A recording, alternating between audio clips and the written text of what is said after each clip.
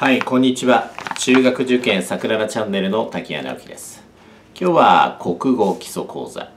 えー、神戸純吉さんという方の書いたね。野口英世のまあ伝記の一部です、えー、野口英世っていうのはね、えー、小さい頃ね、え、火箸でやけどをしてね左手が、え、まあ手がねピタッとくっついちゃってね5本の指が全部くっついちゃってたんですよね。えー、だからいろんなところで不自由だったんですけれども、えー、これをね、えー、手術して治すっていうことをねやってもらうんですよね、えー、その時の、えー、まあ場面なんですけどね。さあじゃあリード文から読んでいきます。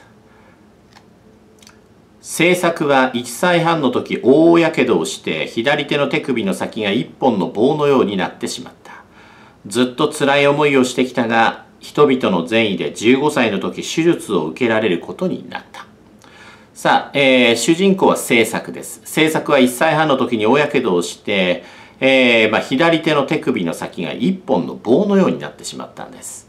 さあ、しかし、人々の善意の時、15歳の時に手術を受けられることになった。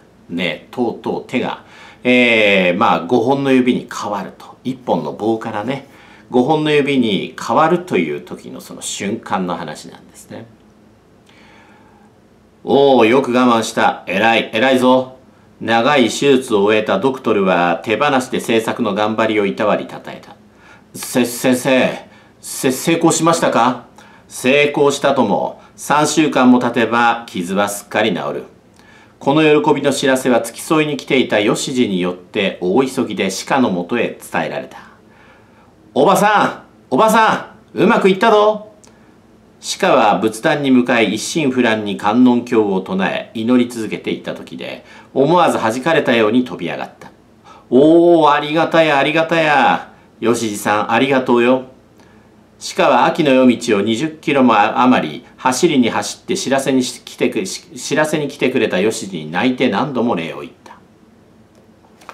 手術の経過は良く、制作は3週間を待ちきれず10日で退院した。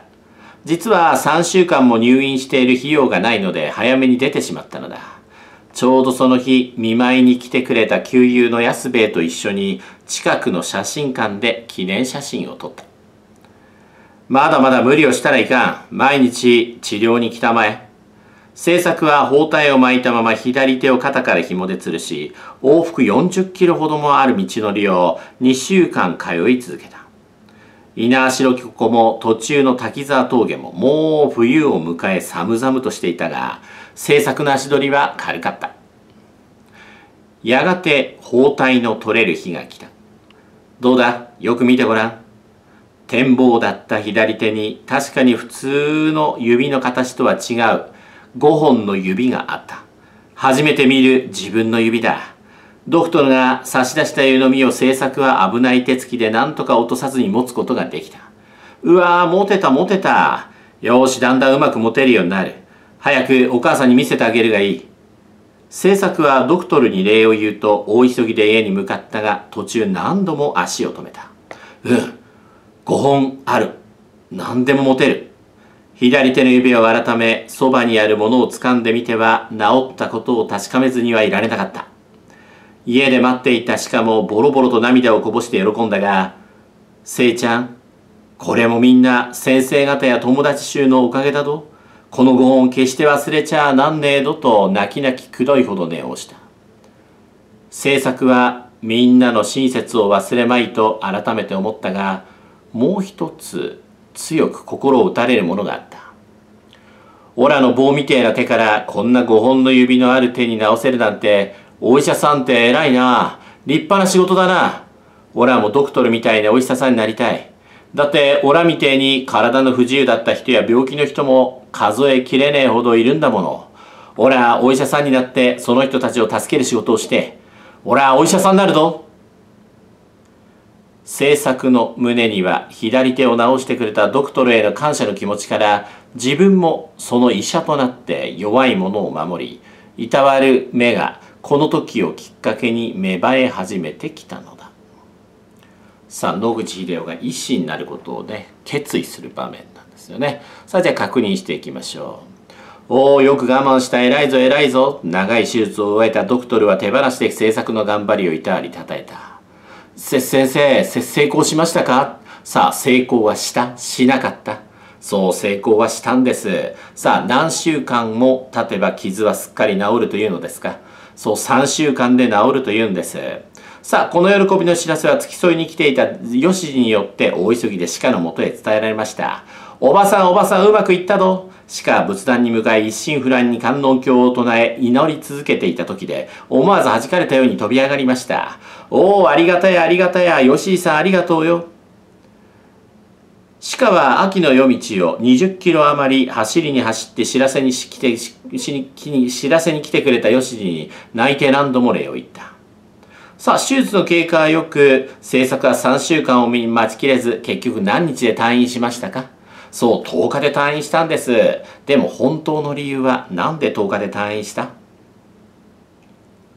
そう3週間も入院している費用がないので早めに出てしまったんです。ちょうどその日見舞いに来てくれた旧友の安兵衛と一緒に近くの写真館で記念写真を撮りました。まだまだ無理をしたらいかん。毎日治療に来たまえと制作は包帯を巻いた左手を肩から紐で吊るし往復40キロほどものある道を2週間通い続けました。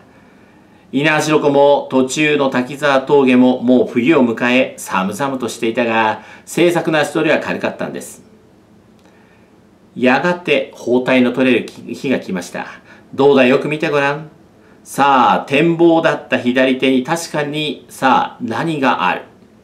そう普通の形の指とは指の形とは違うけれども5本の指がちゃんとあるんです。初めて見る自分の指です。ドクトルが差し出した湯飲みを制作は危ない手つきで何とか落とさずに持つことができました。うわぁ、持てた持てたよし、だんだんうまく持てるようになる。早くお母さんに見せてあげるがいい。制作はドクトルに礼を言うと大急ぎで家に向かったが、途中何度も足を止めました。うん。さあ、ちゃんと5本ある？ない？そう、5本ある。何でも持てる。左手の指を改めそばにあるものを掴んでみては治ったことを指し示す示さずにはいられなかった。家で待っていた鹿もポロポロと涙をこぼして喜んだが「せいちゃんこれもみんな先生方や友達衆のおかげだぞ。このご恩決して忘れちゃなんねえ」と泣き泣き泣きくどくどくどいほど念をしました。さあ制作はもう一つ心に強く打たれるものがあったんです。オラの棒みてえな手からこんな5本の指のある手に直せるなんてお医者さんって偉いな。立派な仕事だな。さあ、だから自分もどうなろうと決めるのですか。そう、オラもドクトルみたいなお医者さんになりたい。だって、オラみたいに体の不自由だった人や、病気の人も数えきれねえほどいるんだもの。オラ、お医者さんになってその人たちを助ける仕事をして、オラ、お医者さんになるぞ。制作の胸には、左手を治してくれたドクトルの感謝の気持ちから自分もその医者となって弱い者を守りいたわる目がこの時をきっかけに芽生え始めてきたのだ。さあで、えー、神戸、えー、純吉さんの野口秀夫ですけどこれをきっかけに猛勉強して医者になるんだねこれね。えー、いいなと思ったらチャンネル登録お願いします。では今日はここまでにしましょう。